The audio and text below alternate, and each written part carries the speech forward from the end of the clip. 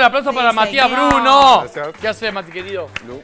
¿Cómo ¿Todo estás? bien? ¿Todo bien? bien. ¿Cómo andás? Me- yo me voy a poner de este lado ¿Todo para, para usted vos. usted tiene que trabajar, Claro, así que yo me voy a ir allá. Yo me voy acá, de este lado. ¿O no? Acá, ¿no? Acá estoy bien. Acá estoy bien. con el mate. Ahí Che, va. bienvenido, Mati. Gracias, es un placer, es un placer. Está buenísimo que vengan eh, los que crean un producto, Total. ¿no? Y esto, esta fábrica de dulce de leche nace como proyecto de familia. Exacto, nace... Contá un poquito la historia, a ver. Bien, eh, la, la marca es- somos dueños con mi hermano, Sí. somos socios, eh, somos de- del interior, somos de Tandil. En 2016, cuando ya estábamos estudiando acá, la típica venís del interior a, a estudiar, nos dimos cuenta que el dulce de leche, nosotros siempre vinculados con el, con el campo, de alguna otra forma, con el dulce de leche, como vos contabas, ¿quién no tiene una abuela que cocinaba dulce de leche? Yo ahora que estaba con la olla y el dulce me acordaba de mi abuela. No, El olorcito que va saliendo. Es tremendo, es eh. tremendo. Sí, y de la abuela René. Eh, La abuela René. La abuela René, siempre hay una abuela abuela Hay René. que nombrarla. Sí, Hay que nombrar, hay que ¿eh? hay Hay que hay No es la abuela, la abuela. René. La abuela René, así que nada, ahí siempre tuvo uno- una conexión con el dulce de leche. Cuando llegamos a Buenos Aires nos dimos cuenta que el dulce de leche, nosotros el argentino siempre saca pecho que el dulce de leche Sí. es un embajador Sí, argentino. claro. Eh, y se comercializaba de una manera del supermercado. No había un producto Es que se pueda comercializar, como si un vino, una especialización, Tenés que te razón. puedan contar un proceso productivo las diferencias de unos con otros. Y ahí creamos nuestra marca que es Dulce Leche Co. Eh, ¿Esto hace cuántos años que nace? 2017, primer local en Palermo. Sí. Sí. Qué bien. Hoy, hoy tenemos eh, 13 locales. ocho- 13. Ah, es una maravilla. 8 Wow. en Capital Federal y lo importante también que me parece es que tenemos locales en el interior, en Santa Fe, en Salta, Mirá. en Rosario, que tenemos franquicias, en Mendoza, Córdoba próximamente. Lo que pasa es que realmente lo, lo que contás es súper interesante porque han logrado darle a un producto de un uso tan cotidiano terciopelo nuestro, mirá lo que eso. es esto, un uso tan cotidiano El que brillo. lo tenemos, El brillo. exacto, lo tenemos tan incorporado. Una vuelta donde es lo que vos decís, había vino boutique, sí, había aceite de oliva premium, sí, pero nadie se ha metido todavía en el terreno del dulce de leche.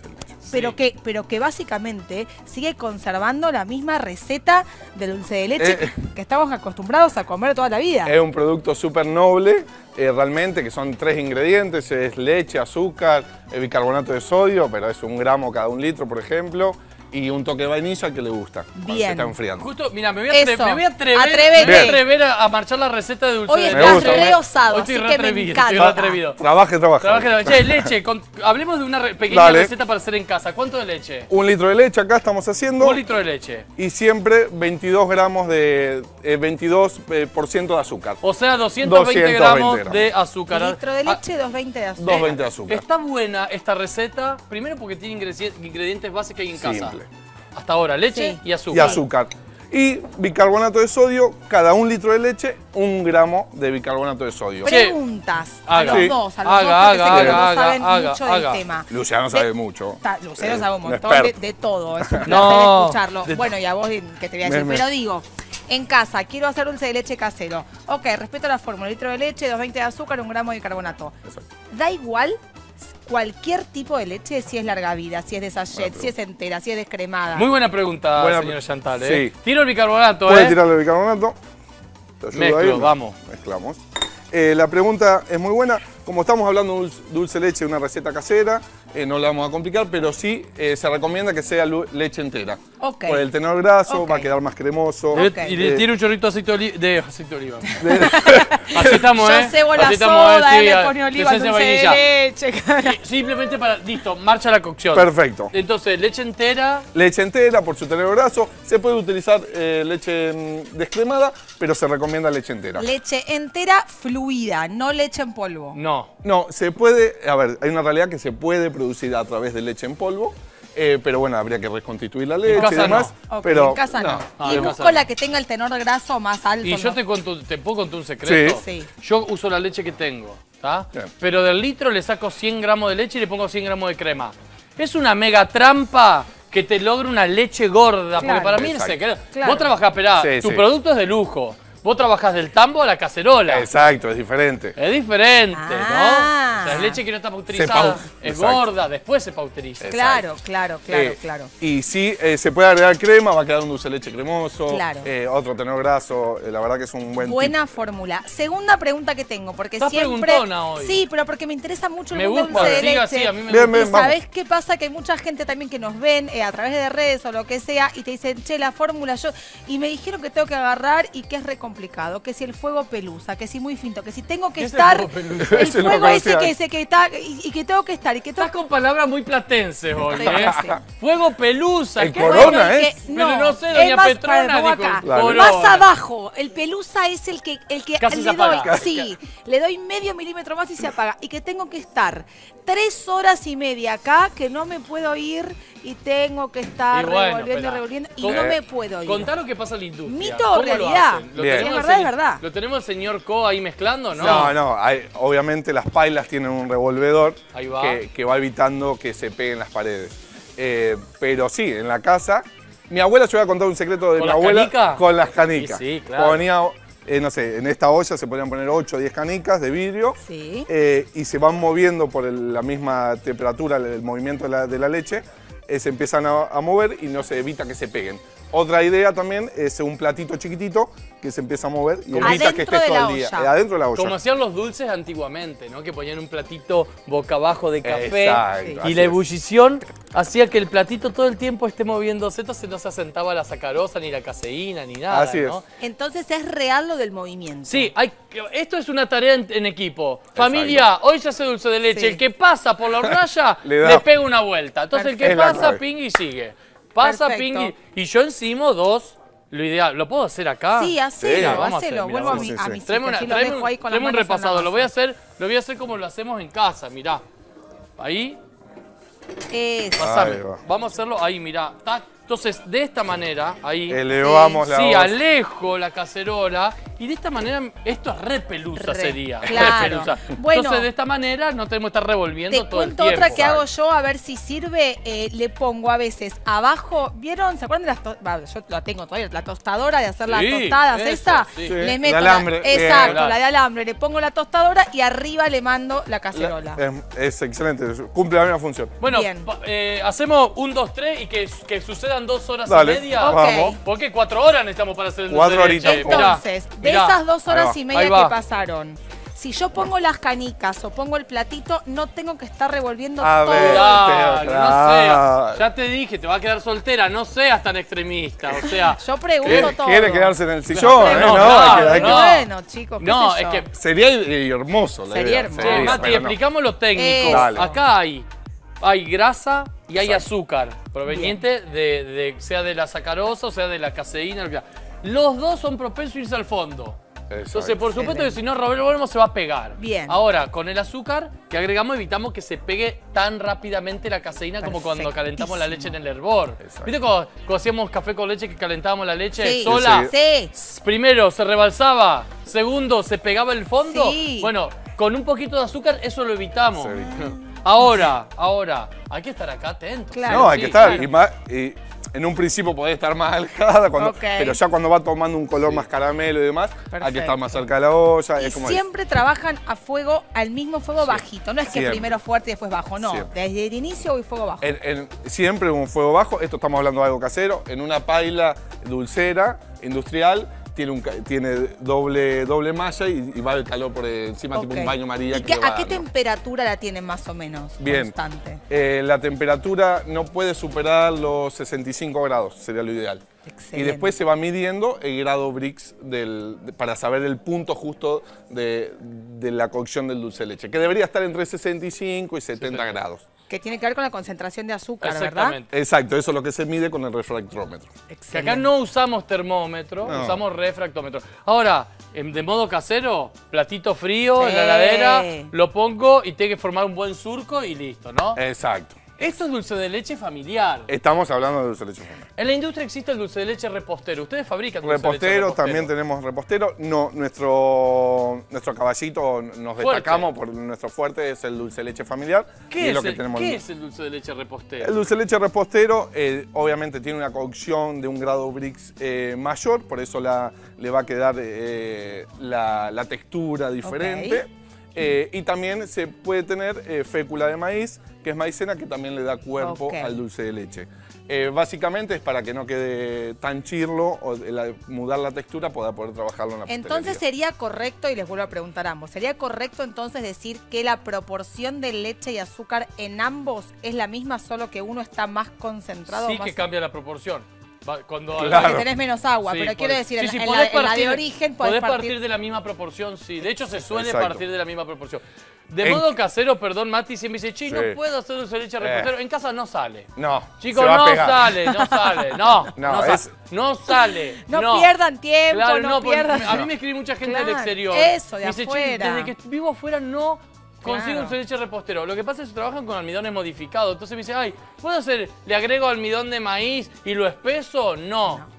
Para lograr la textura de un dulce de leche repostero tenés que poner kilos de almidón y queda un desastre. No Excelente. lo hagan de modo Exacto. casero porque no sale. Perfecto. Che, entonces dulce de leche tradicional, dulce de leche repostero. Vamos a hacer un paseíto. Bien. En la industria existe el, el heladero, El existe heladero, alfajorero. alfajorero. Tal cual. Que esos son concentraciones, colorante caramelo y se Diferente, acabó, ¿no? el heladero se ve, vos ves el dulce de leche, es Sí, negro, negro, negro. Pero porque le tiene que dar el color a la base del helado. Eh, mostraron esas golosinas maravillosas Esto, para porque Tenemos. se ampliaron. Sí, es- Ellos arrancaron con el dulce de leche, pero regalazo, tanto que éxito, tanto éxito ha tenido Sí. eh, que empezamos con los con los subproductos o los derivados. Los derivados son una gran familia. Hoy la verdad que sí tenemos una, una familia de, de varios productos, entre ellos tenemos alfajores, bueno acá tenemos alfajores clásicos, de Spy Mini. Voy a cortar uno. Sí, corte, corte uno. Aparte, sí, cortalo porque este seguramente está Sí, más ahí traemos cerquita un de la cuchillo, ahí traemos un cuchillo. Tenemos chocolates, que tienen con dulce, rellenos de dulce de leche y frutos rojos. Upa. ¿sí? Upa. Esto Ah, mira. Ah, Ah, ah. Uh, mira, mira, mira, mira. Por Dios. Mirá Esto- lo que es esto. Qué rico es. Ya Estamos te vi la produciendo en cara. el- en el Permiso, sur. dile perdón, pero Sí. esto no, no puedo evitarlo, porque no Pase, sabes, la, se, le, se le iluminó la cara Uh, a nuestro asistente de piso. No viene nunca, agarre, agarre ahí una, una barrita. Y sí, vos querés también aprovechar. Hay de Los que no chocolate- saben lo que- era como, fue como un niño, hizo ¡ah! Ah, ah. Ahora sí, Ahora sí, podemos seguir adelante. esto es espectacular, ¿eh? eh, son buenos productos, Son cuidamos buenos de- productos, desde un muy. principio, desde la materia prima hasta el proceso productivo, que es muy cuidado en todos los productos que tenemos de la marca realmente. Te voy a preguntar, hacer una pregunta eh, que por ahí te, te pongo en un aprieto, pero Uy, que dale, dale, digo, me- vale, cuando a la hora de crear este alfajor, Sí. ¿no? Porque vos acá tenés, en, en Argentina tenemos una cantidad y una, variedad de Tremendo. tipos de alfajor tremenda. Sí, y buenísimos. Y, y todos buenísimos. Bueno. Vos tuviste que elegir acoplarte a uno, decir, che, yo quiero hacer un alfajor que se asemeje a o que vaya por estilo de. ¿Qué, ¿Cuál fue la, la, digamos, el, el estilo que te inspiró? La, La fórmula que te inspiración. inspiró Bien, para ¿El hacer marplatense? este- Exacto. Bien, ¿El muy qué? bien. ¿El cuál? Bien, es- este es un producto eh, que nosotros, la galletita, es una galletita que es un poquito más húmeda de lo que hablaba Luciano hoy, eh, que le da, cuando uno lo come parece más un bizcochuelito, tipo Me un encanta. bizcochuelo. Me No encanta es- eso. No es tanto el marplatense, que es un poquito más seco y más cítrico. Perfecto. Este no tiene la parte cítrica que tiene el marplatense. Qué lindo que se ve en no, pantalla, se ven ¿eh? Veo, veo el plano del alfajor y la que mirá, vemos el primero, el primero que es baño blanco, masa de cacao y dulce de leche, ¿no? Correcto. Sí. Baño amargo o al 70 debe ser, no sé Sí, qué es. semi-amargo. Semi amargo. Eh, masa de cacao y mirá ese dulce No, de leche que te da unas ganas de meterle un Y mordisconazo. ahí se ve perfecto lo que dice de Lo la que galleta, que es medio bizcochueladita. Se nota la textura, Sí, ¿no? sí, Y lo que decía Luciano, es verdad que el dulce, eh, la galletita empieza a absorber humedad del Claro. dulce de leche, eh, pasa esto que se veía en la, en la cámara recién, eh, y, le- y le da humedad a la galletita, que es lo que le da la, la- la diferencia. Para mí el alfajor de kiosco bien hecho es lo mejor del planeta. Pato, la semana que viene podemos hacer el alfajor de kiosco. El, Ay, te el, lo el pido, posta. te lo pido. El posta, Te lo listo. pido, te lo lo hago. pido, te lo lo hago, pido, lo hago. te lo Esperá, pido. y quiero, aclarar- quiero contar esto. Mira, esto me pareció magnífico. Cuando yo tengo un libro y yo Ah, puse sí, claro. los sí, los no de los casamientos con dulce de leche. Yo puse frutos rojos, no. No. No. ¿Vos comés frutilla con dulce de leche sola? Y una torta, y una torta con bizcochuelo, crema, frutilla y dulce de leche. Sí. Bueno, entonces, ¿por qué? Yo dije, ay, ¿por qué puse eso? Viste, me empecé a castigar. Claro. Empecé a probar y queda buenísimo. ¿Esto qué es? ¿Frambuesa o frutilla? ¿Qué es? Esto son, en realidad es base de frambuesa. No, quiero probar esto ya. Qué rico, pruebe, Quiero pruebe. probar esto sería un, viste que hay casamientos que uno no le da, no le, viste que Uno sí, no le apuesta. Esto, sí, esto ¿sabes Esto qué? no, con este no. funciona. No, con este no. Esto no va a y andar, Le esto pega, no va a y le pega una década, así. Así, derecho. Sin pelea una década. ¿eh? Pero ¿sabes con qué pasa? A ¿Con veces con lo que uno no tiene no pone tanta expectativa. Decís, bueno, voy, pero ¿Cómo que ¿por qué lo voy? Está buenísimo, Sí. ¿eh? A ver. Esto lo producimos, eh, bueno, la producción de fruta fina, más que nada en la Patagonia. Nosotros lo producimos eh, Y no eh, en Palaga. en la Patagonia. Esa es la, esa es la verdad. ¿En qué provincia? En Bariloche, Neuquén. No, Negro. chicos. Tenés que primero contarnos tus redes sociales. Bien, Mm. Contanos dónde pueden comprar dulce de leche. Perfecto. Se siguen expandiendo, siguen creciendo, no paran. Te vas a hacer rico. Vamos. No, no, muy- todavía estamos trabajando mucho, no ganando mucho, pero es lo importante. Bueno, No, no, pero- perdón, eh, antes, espera, antes que contés, antes Sí. que contés. pe- me quiero detener en algo, ¿puedo? Sí, yo también, dale, dale, dale. Porque vi que, y hablamos de alfajor, de barrita, de todo, pero pasamos por alto algo que se ha marcado mi infancia. Mirá, mirá. Espera, ¿tenemos un palito de brochet? ¿Algo? Tráeme. ¿Y hay baño fundido de la receta anterior? Tráeme. Esto. Vamos a hacer una, vamos a inventar una golosina en este Me momento. encanta. Sí, vamos a inventar- me había, gustó. perdón, ¿Qué? había, a ver si se acuerdan, algunos de mi Me generación, comí tres hace muchos esto, años, unos, Come. unos, eh, venían unos palitos, unos chupetines, no estaban bañados. No, solitos. Eso, solitos, que eran, er- esto es, eh, que eran básicamente caramelos de dulce de leche con un Mirá palito. esto, yo quiero mostrar esto. Mostrá, Eso. rompelo, Sí. rompelo. Porque esto es lo lindo y quiero mostrar est- este azúcar cristalizado. Que para mí es espectacular. Sí, toda esa- total. No es No. la mquita, ¿eh? Ah. Es la mquita. No. que también podemos enseñar a hacer esa golosina. No es. Esto es. ¿Qué es esto básicamente? Esto es dulce de leche, sí o sí. Acá hay concentración de dulce de leche, ¿no? Evaporación de líquidos. Ahí va. Entonces es como si te dijese, te dijese un dulce de leche concentrado. Exacto. Como cuando te pasás de cocción, lo que para los americanos es un fudge, ¿no? Es una base de, de dulce de leche donde se hacen cristales, se forma. Ahora, ¿puedo hacer un chupetín con esto? Tomá, te dejo mi teléfono que me están llamando, no atiendas, ¿eh? O atendé, anda, anda, anda, atendé, no, no, ¿Querés que atendé, atienda? atendé, atendé, atendé. Mirá esto, decí que estoy haciendo un programa en vivo. Escuchá No esto, le mirá. molesta. Eso, a ver, Pincho, espera, me voy a poner adelante, me pongo adelante, mirá, para que, que vean. vos ponete adelante y mientras vos pinchás, yo quiero Mirá. preguntar algo. Tráeme la placa con, con el ¿Es real? ¿Le traes lechita a la plaquita así lo va bañando? Lo va bañando, Esto, con este dulce de leche que acabamos de marchar, litro de leche, 220 de azúcar, un gramo de carbonato, vainilla. ¿Podría yo, si quisiese, llegar a esto o como el repostero es imposible? No, e- este, este por ahí es familiar, vas a llegar a una, a una textura similar, pero la verdad que el que uno hace en casa, eh, yo me acuerdo de que hacía mi abuela, René, eh, era, siempre lo dejaba más líquido, porque realmente eh, por ahí te lleva mucho más tiempo, tenés que estar más tiempo en la olla, como vos decís. Generalmente lo sacás un poquito antes. ¿Te puedo contar una truchada? Una truchada, porque viste que Contá, nosotros somos expertos bueno, en truchar. sí. Escuchá, esto lo puedo hacer en modo casero. Si yo un dulce de leche súper cocido. Sí. Pero decís, che, ¿qué color oscuro tiene? Sí. Se me pasó. Sí. Pues lo llevé al platito, se me endureció. A eso, fundís un poco de chocolate blanco y mezclás el chocolate blanco con ese dulce de leche medio pasado. Lo pones en una bandejita con film abajo, lo cortás con un cuchillo y te queda una especie de... ¿Entendés que es el mejor? de que no. ¿Entendés que es el número no, uno? Buenas ideas, no. Claro, Eh, claro, ¿entendés conocimiento, pero la base de? No, son ideas porque... Pero por algo- por algo me, Lucho me- García. Mirá, mirá esto, mirá esto. tiene un libro de dulce de Sí. leche. Mirá esto, baño. Mirá, o no. Para, escúchame, para un cumpleaños. Es espectacular. Está buenísimo Mirá. esto. Ahí. Ahí va. ¿Tac? Está buenísimo. Me encanta. Wow. Ahora sí contá las redes. Ahora sí, Sí. las redes. Dale, perfecto. Primero agradecerles A realmente. vos. eh, me parece un espacio muy bueno para todo empresario argentino, emprendedor. Qué lindo. Eh, me, Gracias. Me parece que, que es genial. Así que nada, nos pueden seguir en las redes, que en Instagram estamos como dulce de leche eh, guion bajo co, dulce de leche guion bajo co.